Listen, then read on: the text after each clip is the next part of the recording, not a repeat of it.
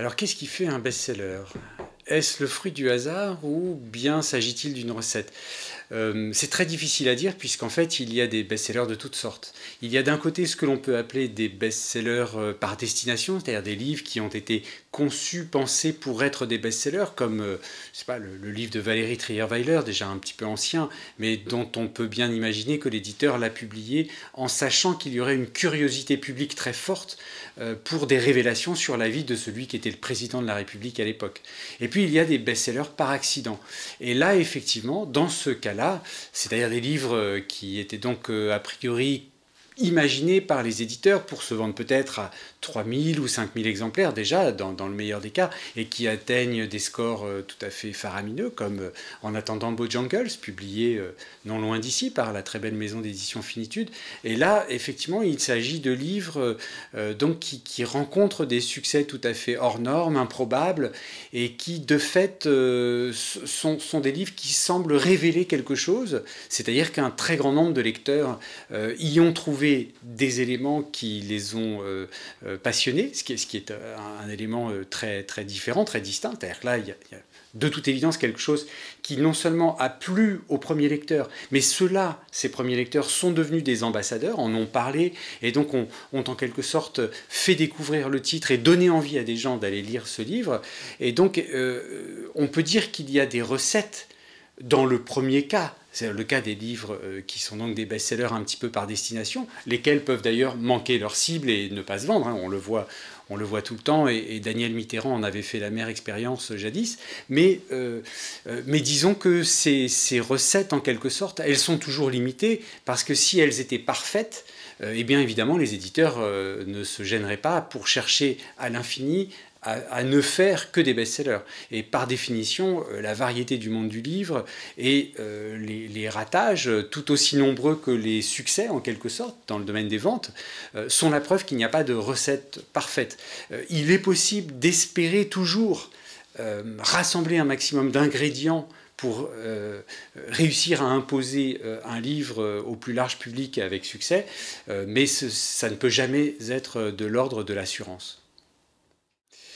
Euh, je ne suis pas certain que le best-seller soit euh, à tout coup et pour tout le monde évidemment synonyme de mauvaise littérature, puisque précisément notre histoire très longue euh, des best-sellers, si l'on remonte à Émile Zola, qui a inauguré en quelque sorte l'ère des 100 000 à la fin du 19e siècle, si l'on songe à Jules Verne, si l'on songe à tant d'auteurs qui se sont vendus,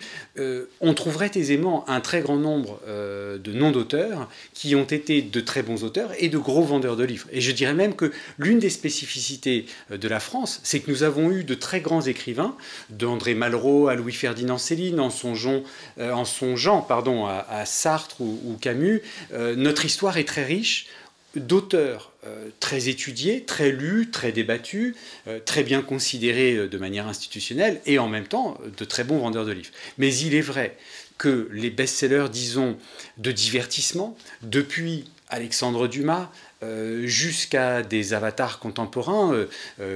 tous ces livres qui ont été conçus pour être avant tout des divertissements ont souvent, c'est vrai, pour plaire euh, le plus largement possible au public, chercher à utiliser les sempiternelles vieilles ficelles de, de la construction d'un récit efficace en recourant parfois avec grand talent euh, à, des, à, des, ressources pour ménager des suspens, euh, créer des situations de surprise, des rebondissements, etc. Et Alexandre Dumas, à juste titre, est aujourd'hui euh, beaucoup mieux considéré qu'il ne l'était de, de, son vivant. mais il est vrai que dans le lot, il y a donc aussi des auteurs de romans industriels qui, en quelque sorte, ne se fatiguent pas trop et recourent volontiers à des sortes de recettes qui font la part belle aux stéréotypes. Et c'est évidemment là que ces livres peuvent s'avérer euh, gênant, euh, c'est qu'effectivement, ils sont euh, non pas toujours, loin de là, mais bien volontiers, comment dirais-je, un petit peu grossiers dans leur manière d'utiliser des ficelles un peu grosses et disons des, des schémas d'explication du monde nettement éculés. Le livre de poche a-t-il marqué euh, un tournant dans, l'histoire du livre et, dans euh, l'évolution des best-sellers? Euh, Je ne suis pas certain. Je, pense que le livre de poche est allé plus loin euh, que tout ce qui avait pu exister auparavant euh, dans la mise au point d'une formule démocratisée pour proposer euh, du livre courant partout en France, à partir donc des années 50. Hein, L'apparition du poche, c'est 1953. Et donc effectivement, le livre de poche a en quelque sorte amplifié un, phénomène de très large vente. Euh, les tirages originaux hein, au sein du livre de poche, la maison, le livre de poche, qui était donc une entité du groupe Hachette, euh, dans les années 50, les tirages originaux étaient de 60 000 exemplaires. C'est-à-dire qu'effectivement, euh, il était entendu que la plupart de ces succès de librairie repris moins cher au petit format étaient par nature destinés à des ventes de masse. Donc ce que l'on peut dire, c'est que le poche a en quelque sorte, si vous voulez, étendu euh, ou, donner euh, une, allure encore plus remarquable, en quelque sorte, à ce qui était des ambitions de masse euh, d'une édition devenue pleinement intégrée à un système de vente vers un très large public. Mais en vérité, depuis le 19e siècle,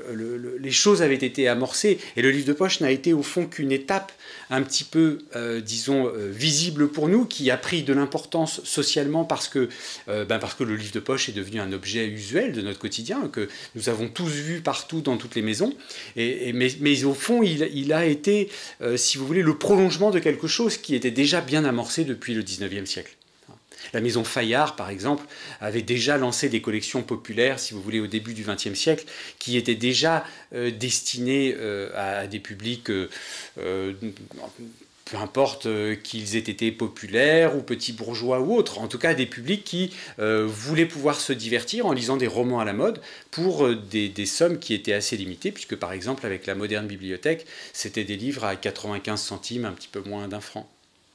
Je dirais que peut-être aujourd'hui, euh, ce qui est plus étonnant, c'est qu'en fait, nous voyons apparaître euh, des phénomènes mondiaux, évidemment comme les Fifty Shades par exemple, euh, et, dont nous avons vu que à partir d'un succès d'un prototype, bien que ce volume ressemble vraiment à une sorte de caricature de, romance euh, euh, donc euh, d'origine antédiluvienne. néanmoins, nous avons vu qu'il y a eu là quelque chose de neuf avec cette intégration de, de scènes particulièrement corsées, intégré donc à, une intrigue euh, amoureuse classique. Et à partir de là, qu'avons-nous vu apparaître? Euh, Eh bien, nous avons vu apparaître des, séries euh, conçues exactement sur le même modèle. Et je dirais que peut-être ce qui est de l'ordre d'une sorte de nouveauté, c'est qu'au fond, à partir d'un succès tout à fait remarquable. Euh, désormais, nous voyons s'organiser un petit peu partout, et tout particulièrement dans certaines maisons très douées, comme Hugo et compagnie, des séries qui sont dans la déclinaison, en quelque sorte, euh, d'un modèle, comme, l'était le roman Harlequin, euh, j'allais dire classique à la grande époque, à partir de la fin des années 1970. Et de plus en plus, nous voyons des productions apparaître de manière sérielle dans la déclinaison, au fond, de recettes qui ont fait leur preuve sur le plan commercial en librairie. Et donc ce à quoi nous assistons aujourd'hui, semble-t-il, c'est un peu l'un des éléments de, réflexion auxquels nous avons pu aboutir, c'est que de plus en plus nous voyons se, fragmenter la production avec de plus en plus, en quelque sorte, des, euh, productions sérielles qui sont dans l'exploration infinie euh, d'un seul et unique modèle euh, qui repose sur un amour de fans, c'est-à-dire de lecteurs, qui ont identifié là une production à leur goût et qui désormais veulent à tout prix, de manière presque obsessionnelle, lire systématiquement euh, toujours, toujours ce même type de production.